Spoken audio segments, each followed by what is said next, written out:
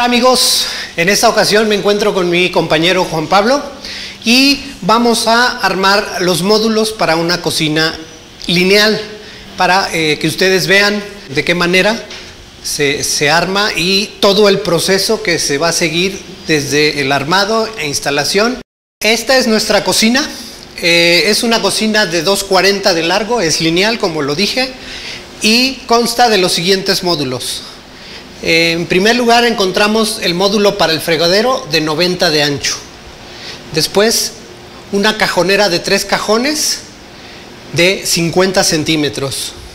Después una cajonera de dos cajones caceroleros de 80 centímetros. Esta va a fungir como la base de nuestra parrilla.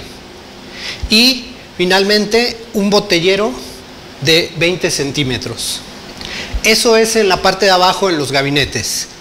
Y en la parte de arriba tenemos una alacena de dos puertas de 90 centímetros. Después tenemos unos gabinetes que van a fungir para, para el, el, horno de microondas en la parte de abajo y alacena de puerta en la parte de arriba.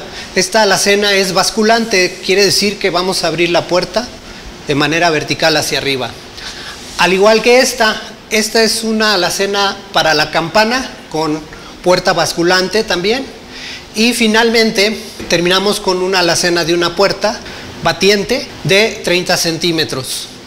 Eh, cabe destacar que tanto los módulos de abajo como los de arriba, los gabinetes y alacenas, son de 70.4 de altura, tanto gabinetes como alacena. Y los gabinetes tienen una profundidad de 60 centímetros y las alacenas tienen una profundidad de 30 centímetros. Mario, Ajá. ¿por qué están numerados tus módulos? Ah, muy buena pregunta, Raúl. Cuando nosotros mandamos cortar el material de las piezas, en esta etiqueta nos dice de qué módulo es y qué pieza representa del dicho módulo. Por ejemplo, esta pieza que tengo en mis manos es un frente de cajón. Por eso es importante. Siempre es importante mantener eh, una línea eh, en las alacenas con respecto a los gabinetes.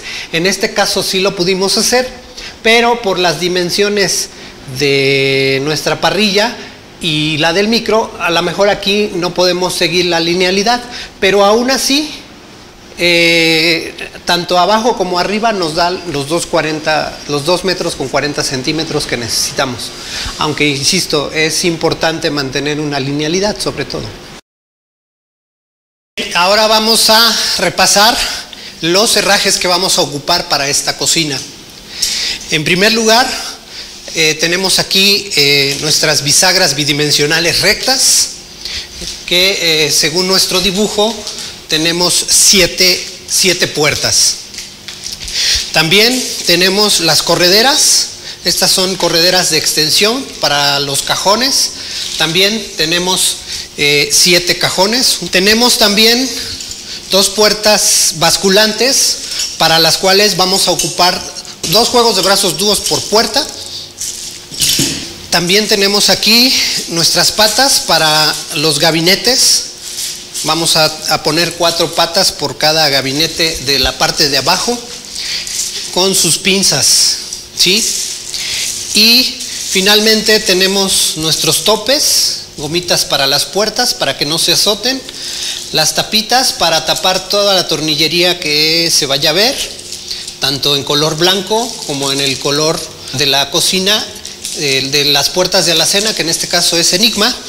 Y finalmente eh, tiner y estopa para la limpieza de nuestros módulos. Vamos a ver la herramienta que vamos a usar para armar nuestra cocina. En esta ocasión tenemos nuestra plantilla de sistema 32 para gabinetes de cocina. También tenemos nuestra nueva plantilla.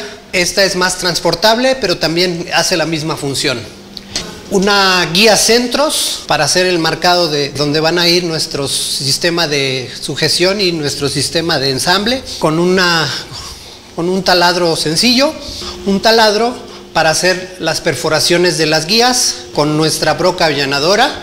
Vamos a usar nuestra llave de impacto tenemos nuestros tornillos de ensamble, tornillos de unión, soportes para entrepaño, una escuadra, nuestra prensa para marcos, para eh, que nos ayude al ensamble, un martillo y un desarmador de cruz y lapicería para, pues para marcar nuestras piezas. Muy bien amigos, una vez que tenemos todas las piezas que nos entrega eh, ya el placacentro, lógicamente nos las va a entregar pues de la manera en cómo se cortó cada hoja. Y lo que nos corresponde hacer en este momento es separar las piezas de acuerdo a los módulos que, este, que tenemos en nuestro proyecto. en esta ocasión tenemos ya, eh, ya separadas nuestras piezas. Estas piezas que ven aquí es del módulo 1 que viene siendo el fregadero. ¿sí? Estas piezas que ven aquí son de módulo 2 que es la cajonera de tres cajones. Estas piezas son del módulo 3, que es la cajonera de dos cajones caceroleros que va a fungir como sostén de nuestra parrilla. Y finalmente, en lo que respecta a gabinetes, estas son las piezas del gabinete botellero, el número 4 quedó. ¿sí? Vamos con las alacenas. Estas piezas de aquí son las del módulo 5, que es una alacena de dos puertas y es la que va arriba del módulo del fregadero. El 6, estas son las piezas de la alacena batiente de 60 centímetros, es el módulo 6. Este módulo va a ir arriba del módulo para el micro. Estas son las piezas del módulo para el microondas. Como notarán, vienen de color, porque como es un módulo abierto, vamos a dejarlas del color de las puertas. Después tenemos otra alacena basculante con puerta hacia arriba, también de 60 centímetros. Este va a ir arriba de la campana. Y finalmente vamos a tener una alacena batiente de una puerta de 30 centímetros de ancho, que es nuestro módulo 9.